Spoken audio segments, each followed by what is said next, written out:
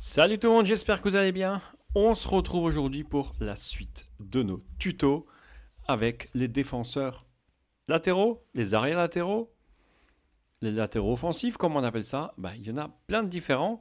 Bienvenue sur ma chaîne, sur FM 2023, avec nos filtres qui, fur et à mesure, sont donnés sur Discord et sur workshop. On va parler de la suite. On a parlé des arrières latéraux. On parle maintenant des latéraux offensifs. Alors, j'ouvre une parenthèse par rapport aux notes qui sont données par rapport aux caractéristiques. Donc, ce sont les mêmes pour un. Alors, décidément, jamais.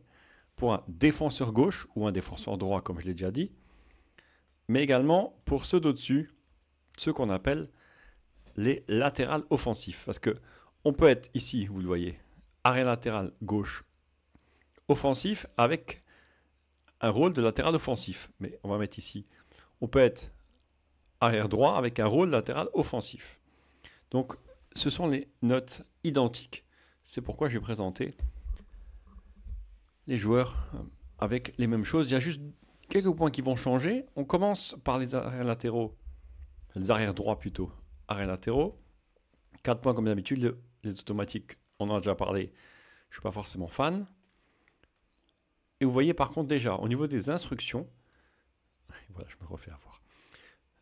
On prend moins de risques quand on est en défense, on centre en profondeur, on prend les couloirs, mais on reste sur place. Alors, ça aussi, euh, quand j'ai commencé à regarder la vidéo, je n'ai pas compris.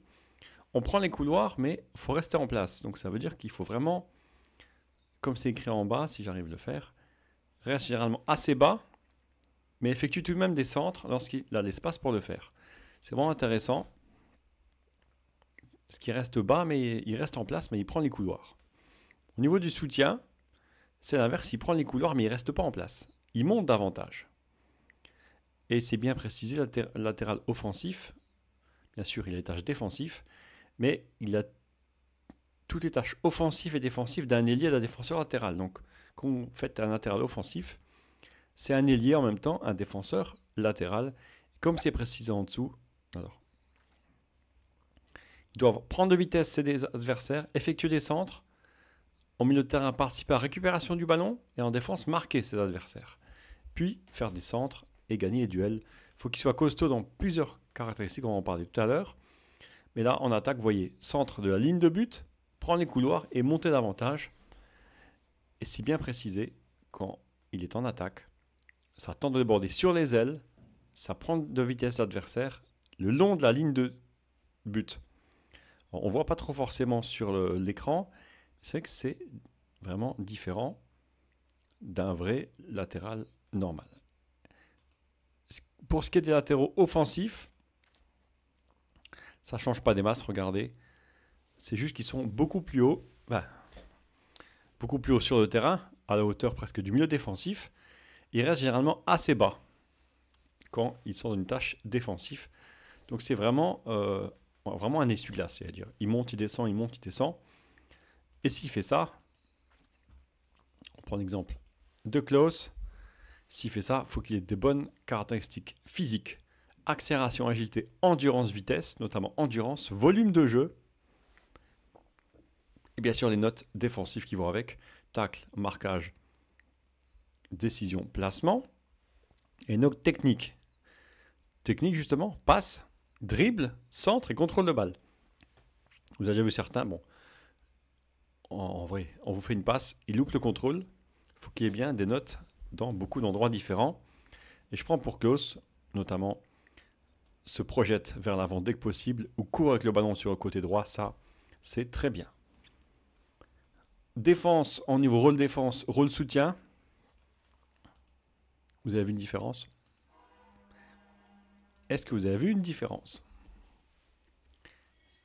Parce que moi, j'en ai pas vu. Regardez bien, on remet en défense, en soutien, en automatique, il n'y a aucune différence. Ce sont les mêmes caractéristiques. En attaque, ça change de une chose, regardez bien. On va vous montrer. Boum. C'est l'inspiration qui est rajoutée. Il faut juste, pour un latéral offensif, avoir une note bonne en inspiration pour pouvoir mieux être attaquant, en position, en rôle d'attaquant. On passe au filtre, sachant que, comme vous le savez, il n'y aura qu'un seul filtre pour les trois premiers. Latéral, offensif, défense, automatique ou soutien, c'est le même, donc j'en ai fait qu'un. On voit les joueurs qui sont très bons à ce poste. Regardez, il n'y a pas beaucoup de joueurs, je vais juste rajouter les postes plus hauts. Pas de joueurs pour l'instant, donc on va baisser un peu les caractéristiques. Peut-être on va à 14. Voilà, on va montrer les 6 meilleurs joueurs, que ce soit en défenseur gauche, défenseur droit, au niveau latéral offensif. Vous les connaissez tous, vous l'avez déjà vu il y a quelques jours. Au niveau des niveaux, justement, le meilleur, c'est David Alaba. Latéral offensif, défense.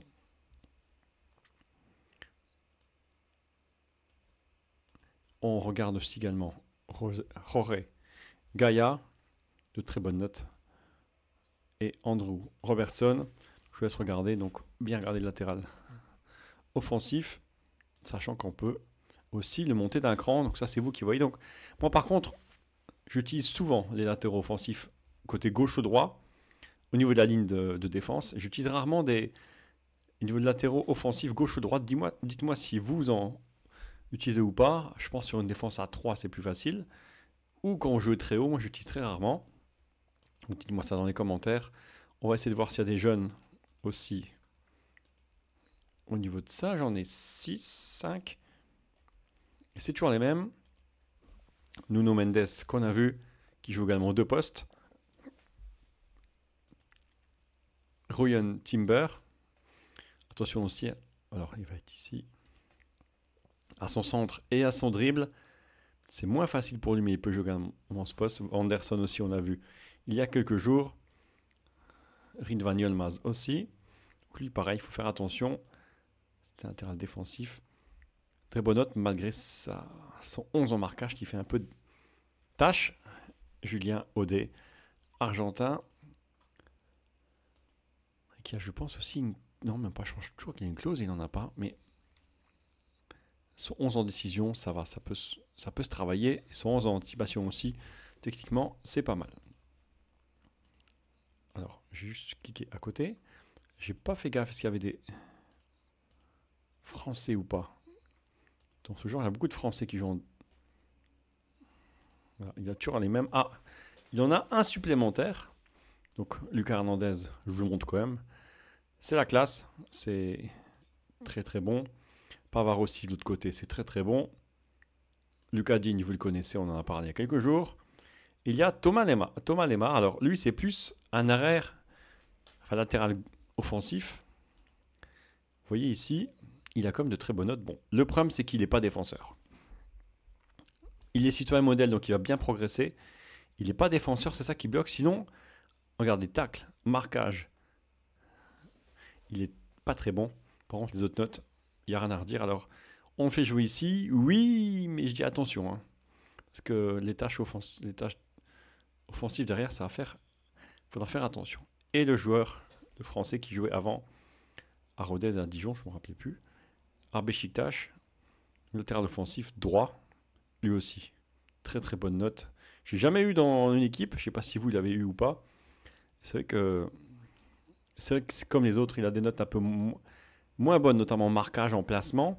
C'est vrai qu'à 25 ans, il peut faire l'affaire, notamment dans des clubs qui sont pas forcément au tableau, mais moyens de tableau. Je pense que ça peut être intéressant au niveau du prix. Je sais pas s'il a une clause non plus. 155 000 dans le salaire, ça peut passer. On passe donc à autre chose. On passe à un cran au-dessus, au niveau de l'attaque. Pour ces joueurs, ça ne change pas beaucoup. On a présenté, comme je l'ai dit, ça change pas beaucoup au niveau des, notes. Je le rappelle, en latéral, on rajoute juste, comme vous l'avez vu, l'inspiration. Donc vous voyez, Gaïa avec son 14 en inspiration est là. Robertson, je n'ai pas mis la 11 en inspiration, mais il compense par les autres notes. Donc ça change pas beaucoup. Juste le 13 de Costas Timikas est là. C'était au-dessus. On voit s'il y a quelques jeunes aussi qui ont changé, mais je pense que ça va pas jouer des masses. Les deux meilleurs, c'est Yolmaz et Timber. Dites-moi dans les commentaires si vous utilisez ce poste ou pas. Peut-être vous utilisez un autre poste. Bah, les autres postes, on les verra demain. Ils sont ici. La suite demain, il reste trois postes au niveau latéraux et des latéraux offensifs. Merci, merci. N'hésitez pas, comme d'habitude, le petit pouce, le petit encouragement. On se retrouve rapidement pour la suite des filtres, pour la suite d'implantation des postes et des rôles. Allez, on se retrouve dans le Discord ou dans quelques jours. Ciao, ciao.